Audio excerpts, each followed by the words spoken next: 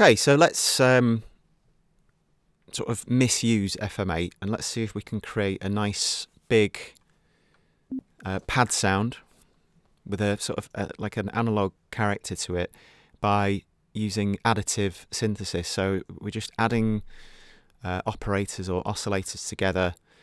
Um, we're going to look to maybe pitch them slightly away from one another so we get that nice thick sound. Um, and we are then going to feed everything through the filter, which you can see is operator Z. So on some, well, classically, going back to the DX7, didn't have a, a, a dedicated filter, you would make the sound brighter and and duller or darker um, just using carriers and modulators, which we're, we're going to come to in a little bit. But on FM8, you get a dedicated filter operator, which is very handy. Um, so yeah, let's just say activate. Why not? Let's go for all of them. Let's make a huge pad sound. Okay, um, so I'm going to turn that off. And in fact, we just need to activate Z as well just by right clicking. Um, and let's just turn the cut off all the way up as it stands. So what we need to do, rather than send the operators directly to the main output here, we're going to first of all send them to the filter and then the filter is going to be the main output. So if I just click and drag there, you can see the filters going to the main output. The filter doesn't make any sound on its own. Um, and I need to feed this into Z and, and every subsequent uh, oscillator or operator into Z. So you see it's called a matrix because you can feed anything into anything. So click and drag this block here And there we go, we've, we've sort of uh, got the sine wave sound that we started with. Okay, so operator F, let's go for a sawtooth.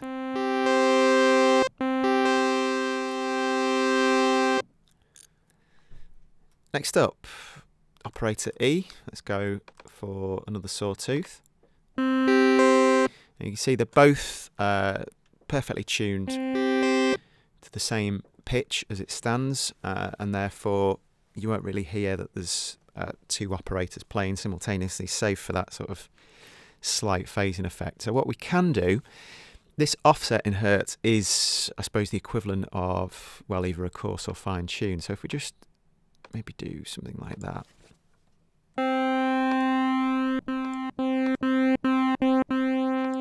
You see we start to get that nice big sound. Um, now this lower section, if this is the main output, this lower section allows you to pan operators by clicking and dragging. So because these are sort of playing roughly the same pitch, let's just add a bit of width.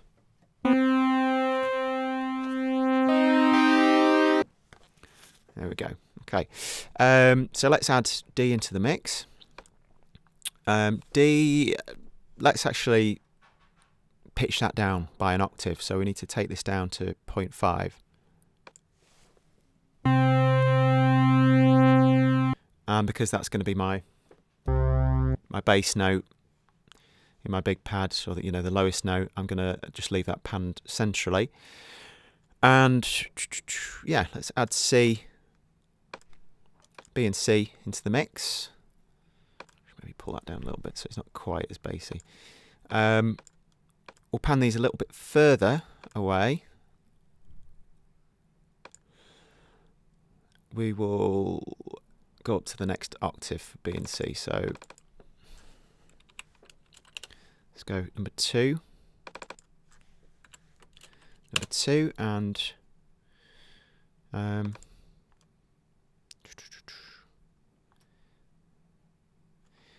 Let's go for something slightly different. Let's go for a soft square, maybe. Oh no, let's uh, let's go for a regular regular square.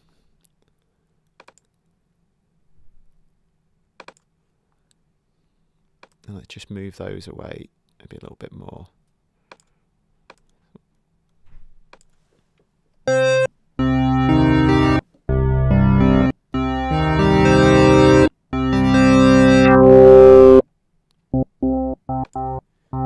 Just need to watch my main output there.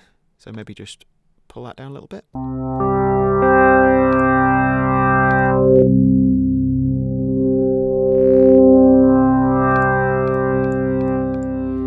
So there's a little bit of resonance on the filter which I've just taken off.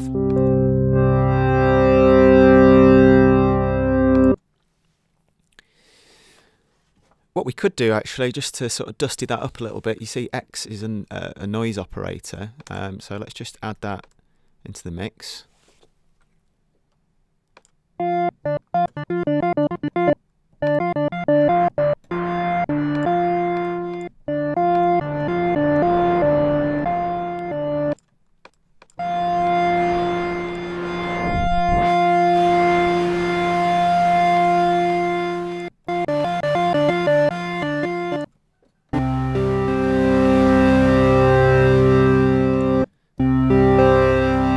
Just a little bit, not too much, so we'll just pull that back. Okay, um, so we've got the basis of our pad sound. Um, but as you can hear, the envelope is fairly short and sharp. So this is where we go to the env section. And we've got the envelopes for each operator. So if I were to click on B, in fact, if I if I click on B, it takes you to all the settings um, for the B operator.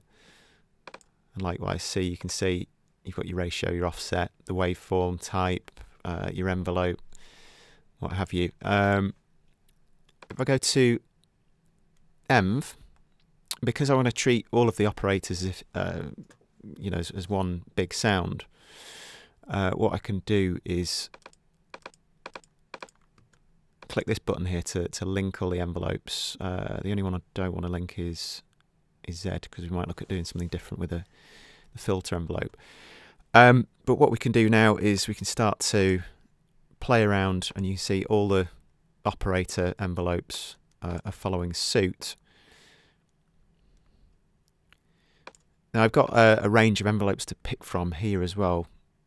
I mean, you can just start to see the, the, scope of the sound shaping possibilities of, of FM8 um, are absolutely huge. But if we just go for standard ADSR, you see it sort of gives you the the various uh, stages of an ADSR envelope.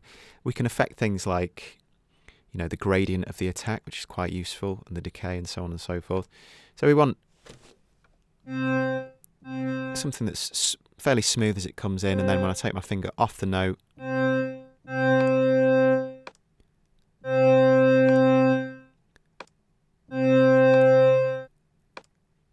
know, something that's got just a little bit more length in it. Now if I click and pull vertically here, I can zoom in and out. You see, you get potentially really long release time. I mean, that's about five seconds. You can see the scale goes pretty huge. Um, so I'm just clicking and dragging to zoom in here.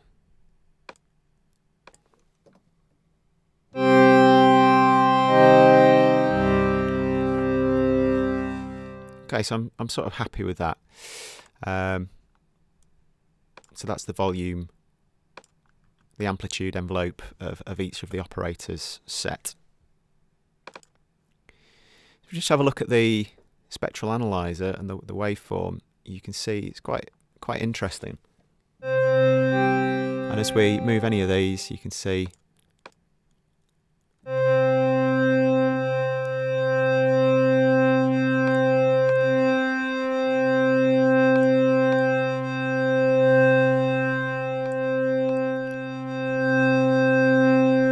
Now we can change the timbre quite a lot just by affecting the balance of uh, of, of the level of, of each operator.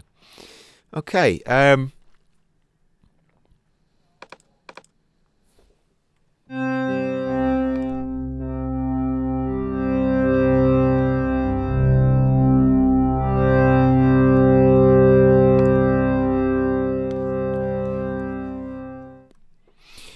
Now let's just visit the effects section. So if we just click here, you can see you've got loads of different built-in effects uh, just to add a bit of flavour to the sound.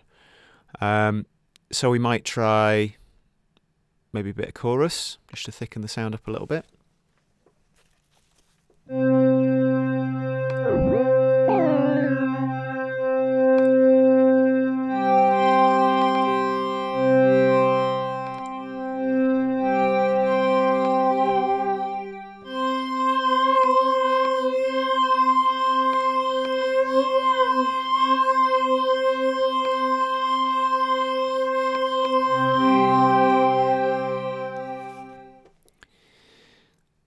And we've got this really nice sort of uh, epic sounding reverb.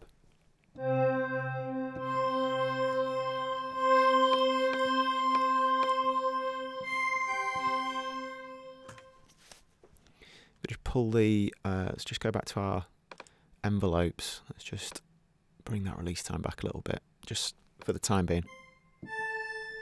So we can sort of hear that, that nice reverb.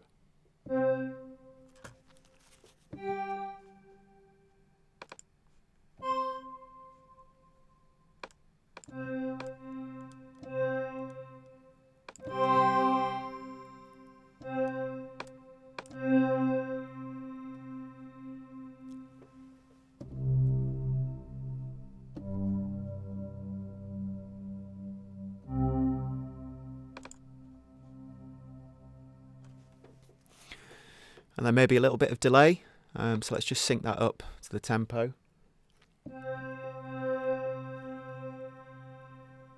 Just pull the feedback back a little bit. Dry, wet, more the dry signal.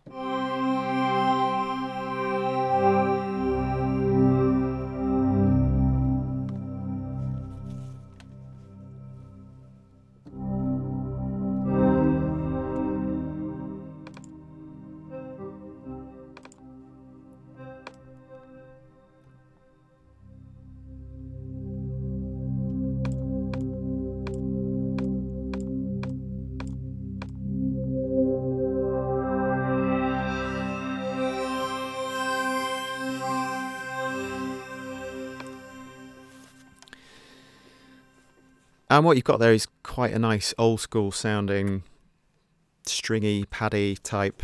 Uh, yes, it's quite an analog sound. Um, so that's just one of the timbres textures that, that FM8 is capable of.